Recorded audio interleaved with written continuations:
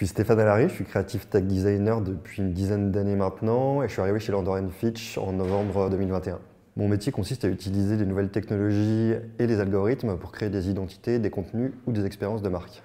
Concrètement, mon champ de conception va des filtres de réalité augmentée jusqu'aux installations cinétiques connectées, en passant par de l'exploration de visuels par de l'intelligence artificielle, voire même de l'architecture dans le métaverse, donc le spectre est quand même très très large. À l'heure actuelle, Landor Fitch est dans une véritable démarche d'aller au-delà de la création traditionnelle en injectant euh, de la technologie pour aider les marques à s'exprimer autrement. Et surtout, quel plaisir d'être entouré de gens aussi brillants. Tout le monde apprend de tout le monde, et l'effet de bord de ça, c'est que les clients ont des prestations de super qualité. J'étais hyper excité d'arriver chez Landor Fitch, et clairement, j'ai pas été déçu. C'est comme arriver dans une grande famille.